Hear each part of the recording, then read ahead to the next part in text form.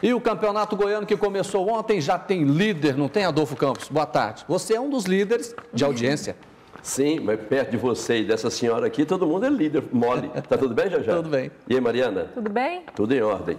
Gente, um abração para todo mundo. É uma rodada só, que nem foi completada, não é? Dois jogos fecham a rodada hoje. É que o Jaraguá é o líder. E ele nasceu em Morrinhos, ele aqui. Ele está feliz. Ah, mas aí foi criado lá em Jaraguá. Sim. E hoje ele é o líder, né? Morei na Fazenda Anil lá. Aliás, vamos falar do Jaraguá então, que é o estreante na Série A. Olha só, tá aí. O Jaraguá venceu a Anapolina jogando nesse estádio, a Mintas de Freitas, lá na minha querida Jaraguá. Derli e Lausen marcaram os gols da vitória. Os dois gols saíram no segundo tempo. Próxima rodada, o Jaraguá vai enfrentar o Vila Nova, que é em Goiânia, sábado, 4 da tarde. Agora, Adolfo Campos, o que você achou desse jogo aí? Meu Jaraguá arrebentou, hein? O Jaraguá fez bem na Anapolina, ele fez então esses 2 a 0 aí. E você sabia que ele ganhou com méritos e os outros jogos teve cada empate sem graça?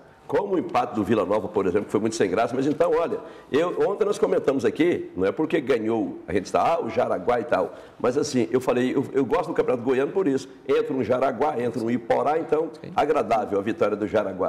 E Agora, vamos rompendo, né? Vamos rompendo. O Goiânia passou por um sufoco, né? Jogando Pensa em sufoco. casa.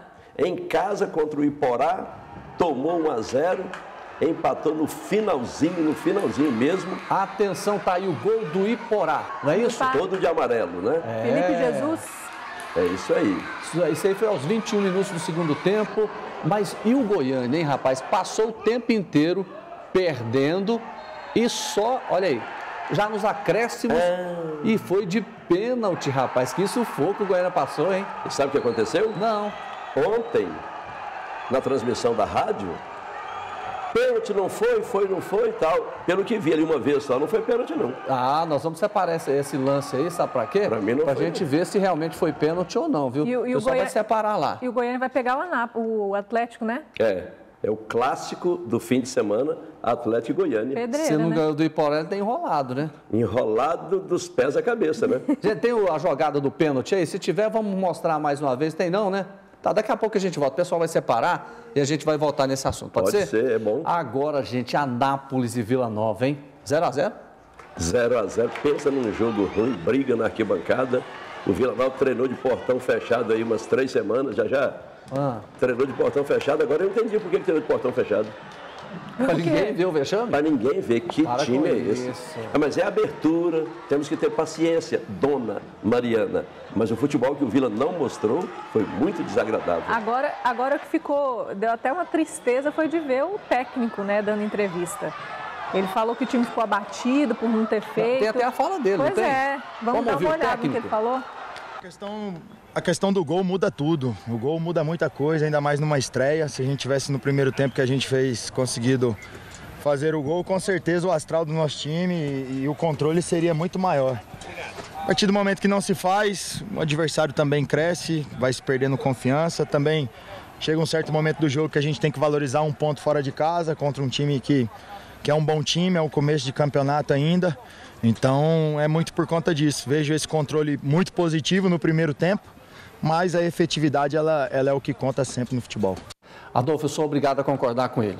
Ele disse uma grande verdade, que o gol muda a história do jogo. Então, já que ele falou aquilo lá e você concordou com ele, eu não vou falar mais nada e vamos mudar de Não, assunto. Pois é, Não. se fosse 1 a 0 era uma história. 2 a 0 3 a 0 não é isso? Pois é, gente, é difícil Mas deixa eu te falar, avalie você que é um especialista em questões gestuais, fisionomia da pessoa, que, qual que é a avaliação pois que você é, faz o do Ariel rosto Gomes, que aliás eu não conheço, tem 30, 31 Campeão anos. pelo tá Jaraguá. hein? triste. Sim, pois é. Pois é, mas falou que o gol muda tudo. É claro que muda. O Parreiro, uma vez, Ariel, falou que gol é um detalhe.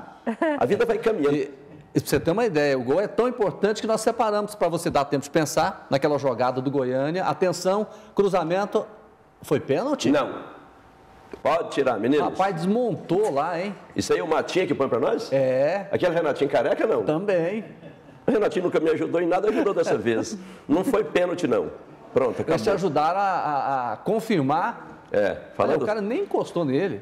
É, falando maduro. sério, não foi, não né? foi, mas acabou sendo, Não, né? não, o juiz deu. Você É. notou. Aqui, ó, foi pênalti, não foi? É. Depois que o juiz deu. Mas a jogada não foi falta. Então vamos lá, craque e Goianésia também não saíram do 0 a 0 O jogo até que foi movimentado, com as duas equipes criando chances, mas ninguém conseguiu eh, marcar um gol também, que aí seria, o gol seria um grande detalhe, né? Seria um grande detalhe. Você percebeu, já já, que teve esse 0x0 do Crack com Goianésia, teve o 0x0 do Vila Nova com Anápolis, não foi isso? Foi.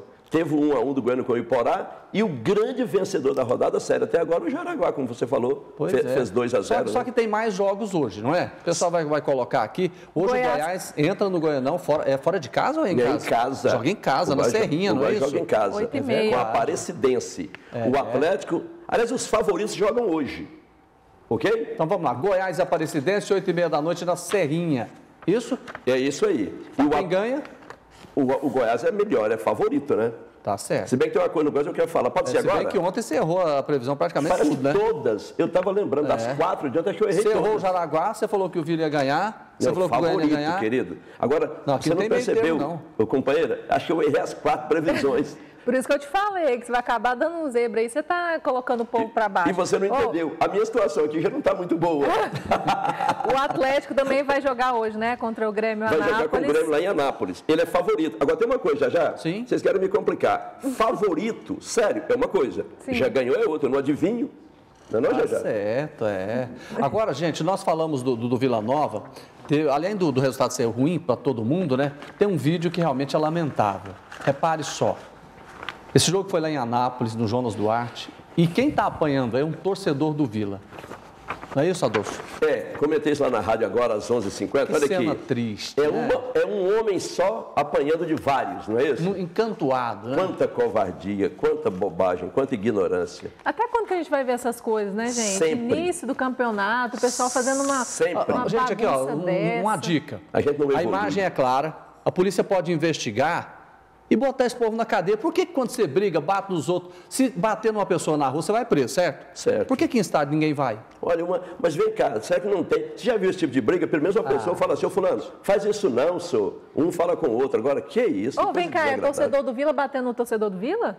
Não, não, deve ser do Anápolis, né? Não é do. Se for do Vila, aí acabou o, o futebol mundial. né? Porque tá todo mundo misturado ali, né?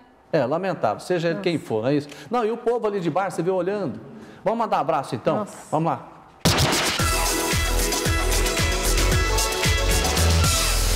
O Tiquinho tá falando que é tudo torcedor do Vila Nova. Tiquinho, o que aconteceu? Eu tava brigando lá entre eles? É o que eu tô torcedor falando. do Vila bateu no torcedor do Vila. É um batendo no outro ali Quem falou dentro. foi o Tiquinho, que é um cinegrafista nosso aqui. Ele Nem viu sei. na hora lá, ué. Eu nem sei se esse Você tem Tiquinho- abraço? É um só. Não vou nem precisar nem abrir. O abraço é pro Ronaldo Pato, meu parceiro. Ele foi jogador Zagueiro do do, Vila. lembra? craque, do Vila. É, é empresário em catalão, pelo que falaram, ele enricou. Deve ter enricado mesmo, que eu não falo que ele tem uns 10 anos. Quando era pobre, eu e a nega Brechó fizemos a mudança dele numa carroça. Agora que ele está rico, sumiu de nós. Abraço, Pato. Ronaldo Pato, abraço para você. Eu encontrei hoje aí o Dete Moreira, do setor Água Branca. Veio aqui conhecer a rádio, vai pegar 100 conto. Ganhou de Opa. prêmio, é, 100 reais. Na 99? É, e diz que gosta demais de nós.